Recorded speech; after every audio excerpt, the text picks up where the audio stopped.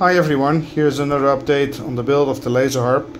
Uh, this time I've made an ILDA version.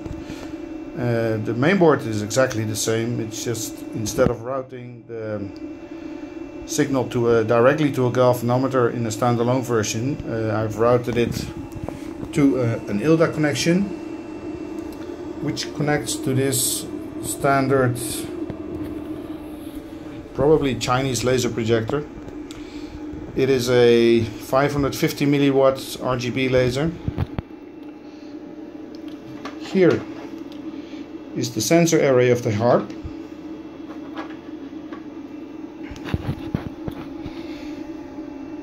So currently the harp is transmitting the information on MIDI channel 1 using bank 1 and the standard octave. So now it's using octave 4 so the harp is connected to this um, Roland D50 synthesizer. It's an old machine but uh, still works pretty well so quite happy with it. Anyway let's switch off the light and see what happens.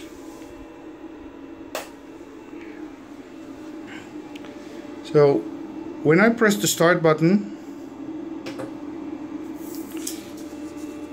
the harp will emit a single, single beam and I have here this just piece of paper just to mimic my hands in the beams.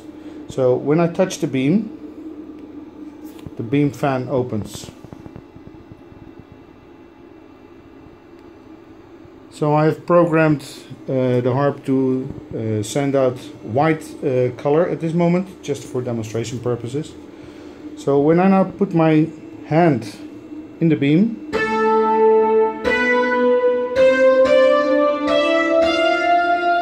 it plays the notes uh, through the synthesizer. So because the harp is ILDA and it supports multicolor, so you can program um, each ray individual. Now I hope you can see this, I'll put some smoke in the beams.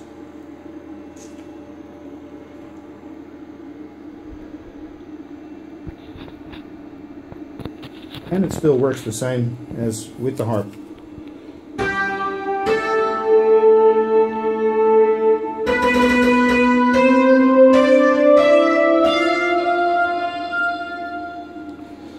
So because the harp is sending out MIDI signals, so the sound you from you hear depends on the synthesizer. So if I use a different patch on the Roland, I'll move up one octave here then the sound is completely different.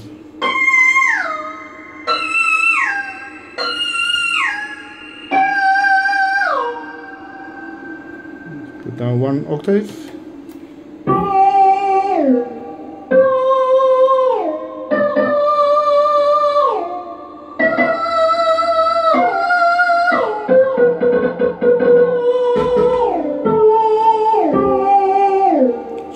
Maybe you recognize this sound from Jean-Michel uh, album Revolution. So when I touch or when I press the start stop button again, the beam fan will close until a single beam and then again when I touch the beam it will the laser will switch off. Okay, thanks for watching.